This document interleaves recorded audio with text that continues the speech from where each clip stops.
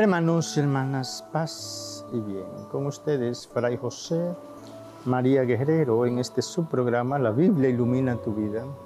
Su canal Televida, el canal católico de la familia, su escuelita de espiritualidad, contenido La filiación divina.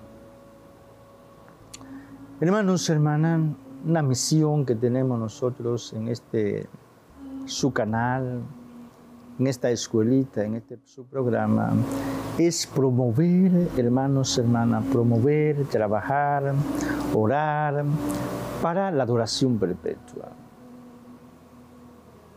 Queremos, hermanos, hermanas, que no muy tarde, no muy tarde jamás, en este siglo XXI, República Dominicana sea con la humildad de vida la primera nación del universo humano con adoración perpetua en todas sus parroquias, en todas sus parroquias y capillas. Y al mismo tiempo la, el cenáculo. Trabajemos, hermanos, hermanas, para que así sea. Oremos para que así sea. Tomemos iniciativas Bastarían, hermanos, hermanas, tres personas para el cenáculo. Tres personas todos los sábados a las seis de la mañana. Seis de la mañana, tempranito, el Santísimo expuesto. Y rezar. ¿Por qué hay tres personas? Por ese texto para nosotros paradigmático, emblemático, del libro del Éxodo, capítulo 17, versículos del 8 al 16. Una batalla, dos ejércitos, el ejército de Yahvé capitaneado por Josué y el ejército de Amalek. Pero hay tres hombres, hermanos, hermanas, tres hombres en la cima de una montaña. Uno de ellos con los brazos en altos, Moisés. Y estos tres hombres deciden el curso de la batalla. Mientras Moisés tiene los brazos en altos, vence el ejército de Yahvé, vence Josué. Cuando baja los brazos, vence a Malek. La lección, hermanos, hermanas, es clara. De tres personas en oración deciden el curso de un acontecimiento. Tres. Bastan tres personas para rezar el Santo Cenáculo, los tres misterios. Entonces, esas tres personas, con el permiso del párroco, todos los sábados, esa iglesia abierta, y rezo del cenáculo. Y claro, van a ir más personas. Eso es algo de, de la iglesia, de toda la feligresía. Hermanos, hermanas, siempre decimos, nos repetimos, una práctica espiritual que ayuda al crecimiento espiritual, al crecimiento pastoral de una comunidad parroquial es esta práctica. Todos los sábados, el rezo del cenáculo, Santísimo expuesto y terminar con la Santa Misa recomendamos encarecidamente esta práctica a los sacerdotes. Todos, a los sacerdotes. Nosotros necesitamos orar, no solamente el párroco. Los religiosos, por ejemplo. Que sea una práctica de la comunidad religiosa. O bien cada sacerdote en su parroquia. Pero si hay algo que ayuda, eh, fortalece eh, la vida de un pastor es esta práctica, hermanos, hermanos. Rezar el cenáculo, con la feligresía y terminar con la Eucaristía. Ahí está todo. Recomiendo también tanto al párroco como a la feligresía que el pa o los sacerdotes realmente que participen del cenáculo, que en ese momento no confiesen, que busquemos otros momentos para confesar, porque nosotros necesitamos orar, hermanos y hermanas. Sacerdote necesita orar. Y si hay un ejercicio realmente hermoso y bello del sacerdocio es la confesión, pero busquemos otro momento. Que ese momento del sacerdote esté ahí rezando sus cuatro misterios con la feligresía, que no lo use para confesar. Y que la feligresía respete ese momento de su pastor, porque su pastor necesita orar, necesita rezar su rosario. Y es una belleza el sacerdote rezando su cenáculo con la feligresía, buscar otro momento. Es, hay que sacrificarse después de la misa, eh, puede estar hasta el mediodía confesando. No se sacrifique, está bien. Pero no está bien que el sacerdote no haga el cenáculo por estar confesando. No, hay, que, hay que orar. Confiese después. Podemos buscar cualquier otro momento durante el día, de 10 a 12 de la noche, confesar.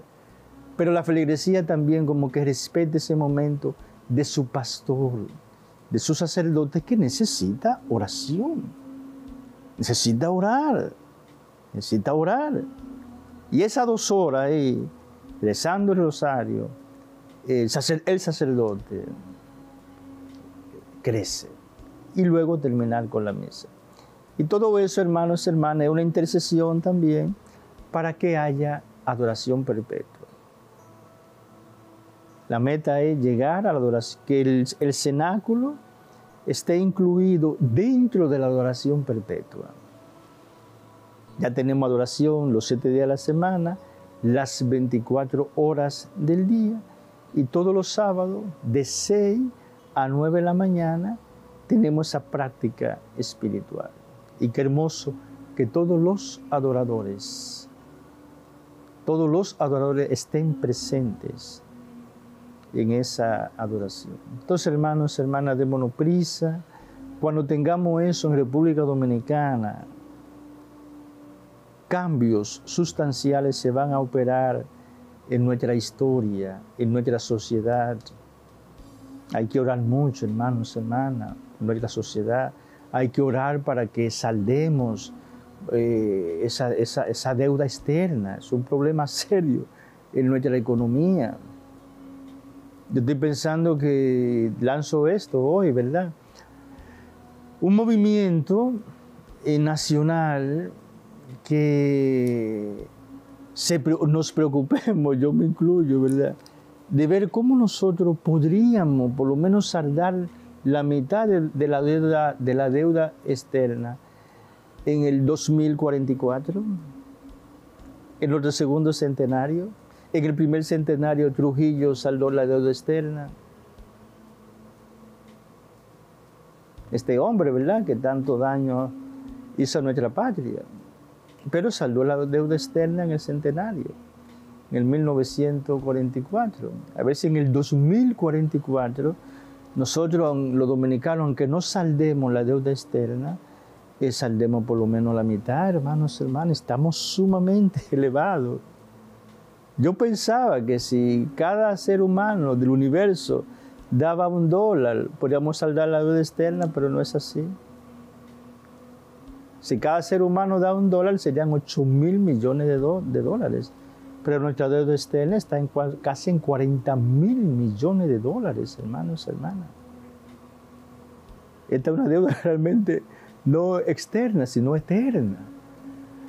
Vamos a hacer algo. Invito a todos los ciudadanos que, que nos organicemos a ver si se crea ya desde ahora, el 2024, nos quedan 20 años, para ver si, si se consigue, a ver qué podríamos hacer, hermanos hermanas, para que en el 2024, 2044, perdón, se pueda, por lo menos la mitad, porque más del 50% de, del Producto Bruto Interno se usa en, en saldar esta deuda, hermanos, hermanas. Entonces no andamos bien eh, con respecto a esto. Oremos para que el Señor nos dé luz, eh, responsabilidad al Estado y que no podemos seguir endeudándonos así como irresponsablemente, hermanos, hermanas, hipotecar nuestra nación. Esto puede traer consecuencias eh, fatales en nuestra historia. Esa deuda que crece y crece y crece y crece. Bien, hermanos, hermanas, oremos. La oración tiene el poder de cambiar el curso de la historia y conseguir lo que parece ser imposible. Y parece que sea imposible que saldemos nosotros en el 2044, en nuestro segundo centenario, buscar esa independencia económica porque estamos muy encadenados, hermanos, hermanas, muy encadenados con esta deuda externa. Que María Santísima, protectora del pueblo dominicano, interceda por nosotros, nos ayude y podamos en este siglo XXI hacer cosas realmente extraordinarias para el bien de nuestra nación. Señor mío y Dios mío, creo firmemente que estás presente en la hostia sagrada, en la plenitud de tu amor, en la plenitud de tu poder, en la plenitud de tu divinidad Creo en ti y te adoro. Creo en ti y te adoro.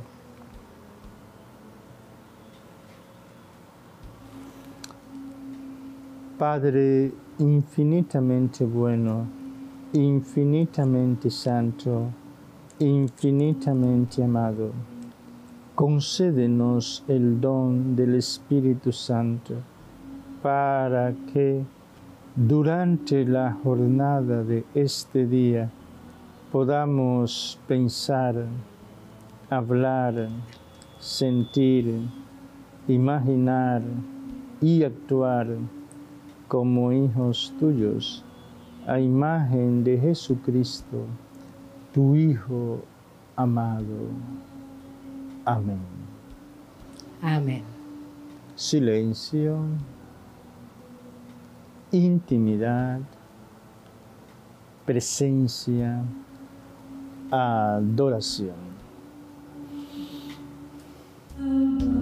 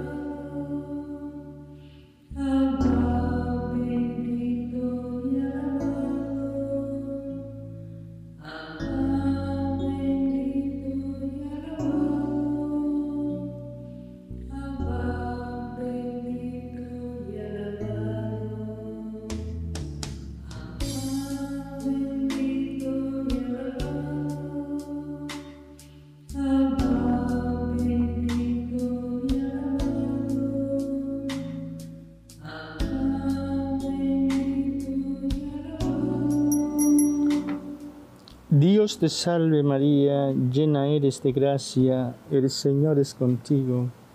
Bendita eres entre todas las mujeres, bendito es el fruto de tu vientre Jesús. Santa María, Madre de Dios, ruega por nosotros pecadores, ahora y en la hora de nuestra muerte. Amén. Gloria al Padre y al Hijo y al Espíritu Santo. Como era en un principio, ahora y siempre, por los siglos de los siglos. Amén.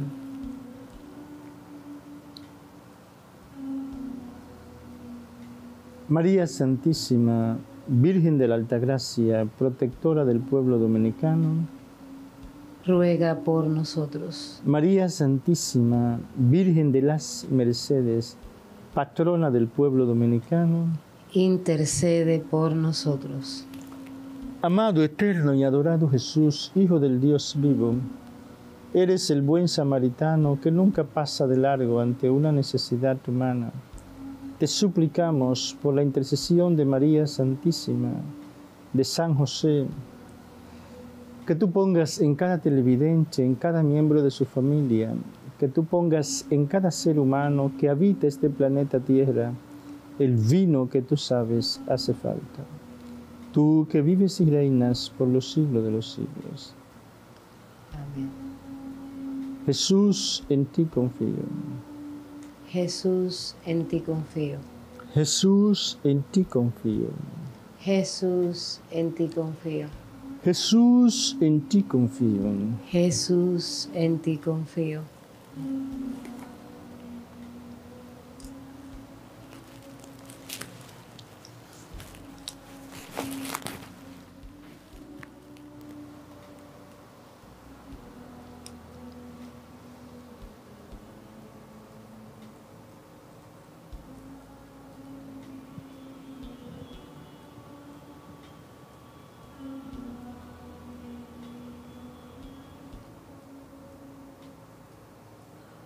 Amado, eterno y adorado Jesús, Hijo del Dios vivo,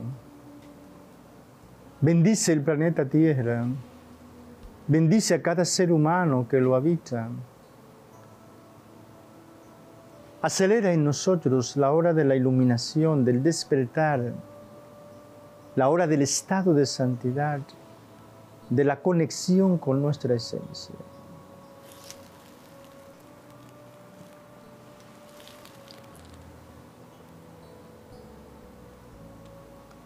Bendice Jesús a todos aquellos y aquellas que están a punto de morir, que mueran en tu paz y contemplen tu luz eterna.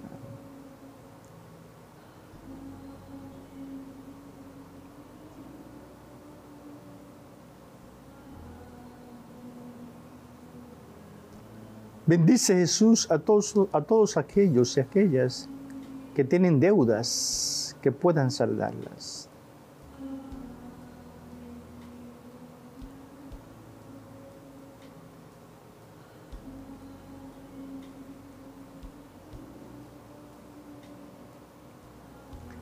Bendice Jesús a todos aquellos y aquellas y lugares que se encuentran bajo la influencia del diablo infernal, sus ángeles caídos y sus ministros en la tierra Dales la liberación y la paz.